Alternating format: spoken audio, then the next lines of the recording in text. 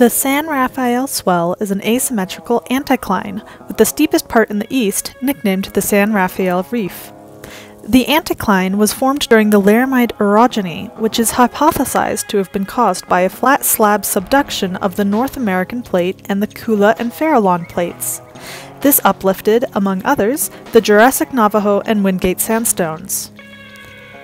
There are many slot canyons in the San Rafael area, but I focused on the Little Wild Horse Canyon, as well as the Ding and Dang Canyons. And isn't that such a great name?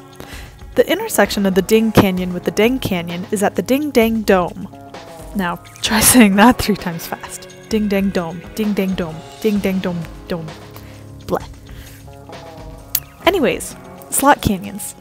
The slot canyons found at the swell are formed through the erosion of the sandstones, typically during flash flooding.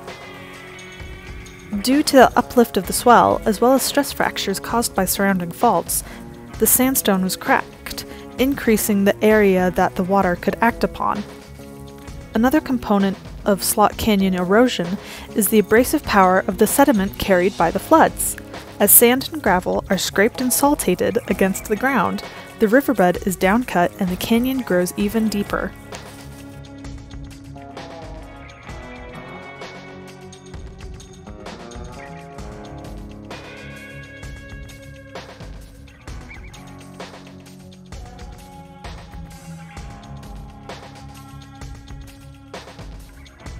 And here we get to see me struggle to draw a gun.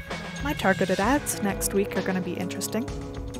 I then realized that, eh, the cowpoke's going to be super small anyways. As long as I have a general shape, I should be fine. But wow, I really don't know how to draw guns. Here, I decided to put water in this canyon, mainly because I wanted to draw a little waterfall.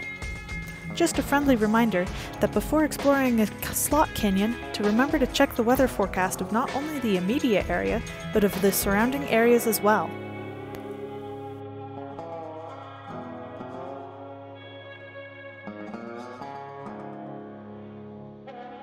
While I may not have drawn a specific section of either the Ding and Dang canyons or the Little Wild Horse Canyon, I did take inspiration from them. The wonderful thing about nature is, is that so many fantastic geological formations are possible.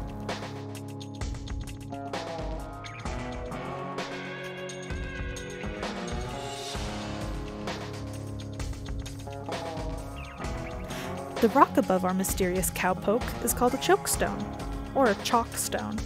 I got two different words for the same thing. But then again, this isn't a geological definition, but a rock climbing one.